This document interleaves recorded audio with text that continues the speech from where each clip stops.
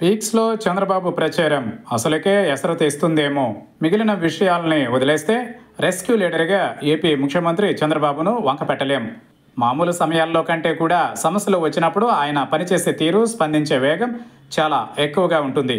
ఆ మాటకు వస్తే ముఖ్యమంత్రి పదవి ఆయనకు కొత్త కాదు. సమస్యలు సవాళ్ళు కూడా ఆయనకు తెలియనివి కావు. విపత్తులు విరుచుకుపడినప్పుడు ఎలా వ్యవహరించాలి ఏ ఆర్డర్లో పనిచేసుకుంటూ పోవాలన్న దానిపై ఆయనకు మంచి పట్టుంది. కాబట్టి విజయవాడలో జల విలయం ఆయన సమర్థతను మరింత మందికి తెలిసేలా చేస్తుందని చెప్పక తప్పదు.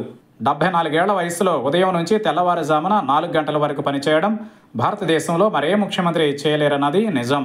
అంతేనా? ఆ తర్వాతి రోజు అర్ధరాత్రి రెండు గంటల వరకు పనిచేస్తూనే ఉండడం మెరుగైన పరిస్థితుల కోసం ఆయన పడిన ఆరాటం అంతా ఇంత కాదు. ప్రకృతి విసిరిన సవాళ్ళు ఒక ఎత్తు అయితే రాజకీయ ప్రత్యర్థుల నుంచి ఎదురయ్యే అడ్డంకులు మరో ఎత్తు. గతంలో ఇలాంటివి ఎదుర్కొనే విషయంలో ఆయన తడబడేవారు. గడిచిన ఐదేళ్ళు ప్రతిపక్ష నేతగా ఉన్న కాలంలో ఆయన చాలా రాటుదేలారు కొత్త తరహా రాజకీయాన్ని అర్థం చేసుకోవడం సమయానికి తగ్గట్లు స్పందించే ధోరణిని అలవాటు చేసుకున్నారు. గతంలో చాలా అంశాలని పట్టించుకొని ఆయన ఇప్పుడు అన్ని అంశాలని ఒళ్ళు దగ్గర పెట్టుకొని మరీ చూసుకుంటున్నారు. రాజకీయ ప్రత్యర్థుల విషయంలో అప్రమత్తంగా ఉంటున్నారు.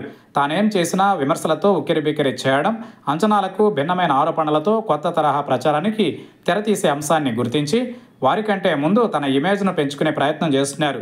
ఒక స్థాయి వరకు ఇవన్నీ బాగానే సహాయంగా ఉంటాయి కానీ మోతాదు మించితే మొదటికే మోసం వస్తుందన్న విషయాన్ని ఆయన గుర్తించాల్సిన అవసరం ఉంది. బెజవాడను ముంచెత్తిన వరద ఎపిసోడ్ని చూస్తే అందరూ ఇబ్బంది పడే వయస్సు కష్టాలకు భిన్నంగా అసలు సిసలైన పని రాక్షసుడు ఎవరైనా ఉంటే అది తానేనన్న భావన ప్రతి ఒక్కరిలో కలిగేలా చేసుకోవడంలో సక్సెస్ అయ్యారు. అదే సమయంలో సహాయక చర్యలు పెరిగే అంశంపై స్పెషల్ ఫోకస్ పెట్టారు. మొదటి రోజు సందర్భానికి తగ్గట్లు ఆయన కష్టాన్ని హైలైట్ చేయడం వరకు బాగానే ఉన్నా. రాను రాను ప్రచార మోతాదు పెరిగిపోయిందన్న భావన పలువురి నోట వ్యక్తమవుతోంది. రాజకీయ ప్రత్యర్థులు చేసే విమర్శల్ని ఆరోపణల్ని తిప్పికొట్టడంలో సక్సెస్ అవుతున్న చంద్రబాబు ప్రజల నుంచి వస్తున్న వినతులు వినపాలని పరిష్కరించే విషయంలో వారు కోరుకున్న వేగంతో ప్రభుత్వ యంత్రాంగాన్ని నడిపే విషయంలో కాస్తంత వెనకబడిన పరిస్థితి. దీంతో మోతాదుకు మించిన ప్రచారాన్ని చేసుకుంటున్నారన్న భావన వ్యక్తమవుతోంది.